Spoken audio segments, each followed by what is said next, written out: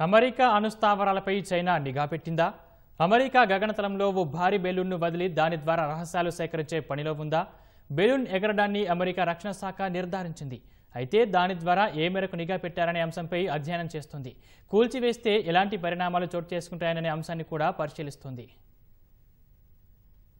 అమెరికాలోని అణుస్థావరంపై చైనా వదిలిన ఓ భారీ హై ఆల్టిట్యూడ్ బెలూన్ను అక్కడి అధికారులు గుర్తించడం కలకలం రేపింది. ఈ విషయాన్ని పెంటగాన్ స్వయంగా వెల్లడించింది. ఈ బెలూన్ను అమెరికా నిఘా వర్గాలు కొంతకాలంగా ట్రాక్ చేస్తున్నాయి. వాణిజ్య విమానాలు ప్రయాణించే ఎత్తు కంటే ఎక్కువ ఎత్తులో ఇది ప్రయాణిస్తోందని పెంటగాన్ ప్రతినిధి పాట్రిక్ రైడర్ పేర్కొన్నారు. అది ఉత్తర అమెరికా గగనతలంలో ప్రయాణిస్తోంది. దీనిని కూల్చేస్తే శకలాలు నేలపై పడి ప్రజలకు ప్రమాదం ఏర్పడే అవకాశం ఉందని సీనియర్ అధికారులు అధ్యక్షుడు జో బైడెన్కు సూచించారు. ఈ అంశంతో పాటు తాజా పరిస్థితిని ఆయనకు వివరించారు. ప్రస్తుతం ఈ బెలూన్ అమెరికాలోని చాలా కీలక ప్రదేశాల మీదుగా ఎగురుతోందని అమెరికా రక్షణ శాఖ వర్గాలు కూడా వెల్లడించాయి. దీని ద్వారా పెద్దగా ఇంటెలిజెన్స్ సమాచారం లీక్ కాకపోవచ్చని ఆ వర్గాలు అభిప్రాయపడ్డాయి.